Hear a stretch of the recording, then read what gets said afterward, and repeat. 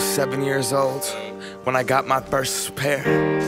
And I stepped outside and I was like, Mama, this air bubble right here, it's gonna make me fly.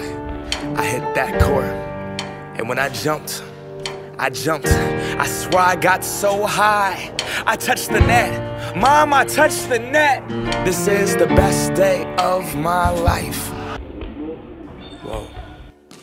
See, he just wanted a jump shot.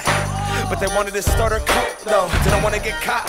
From Genesee Park to Othello. You could clown for those pro wings with the Velcro, those were not tight. I was trying to fly without leaving the ground. Cause I wanted to be like Mike, right? Wanted to be him. I wanted to be that guy. I wanted to touch the rim. I wanted to be cool. And I wanted to fit in. I wanted what he had. America, it begins.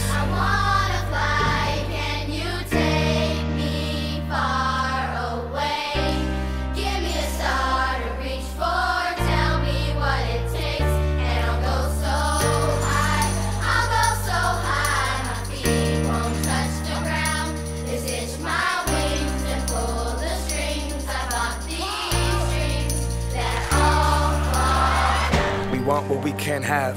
Commodity makes us want it. So expensive, damn. I just got to flaunt it, got to show 'em. So exclusive, this, that new shit. A hundred dollars for a pair of shoes. I would never hoop in. Look at me, look at me. I'm a cool kid. I'm an individual, yeah, but I'm part of a movement. My movement told me be a consumer, and I consumed it. They told me to just do it. I listened to what that swoosh said. Look at what that swoosh did. See it consume my thoughts. Stupid? Don't crease them, just leave them in that box. Strangled by these laces, laces, I can barely talk. That's my air bubble and I'm lost. If it pops, we are what we wear, we wear what we are. But see, I look inside the mirror and think Phil Knight tricked us all.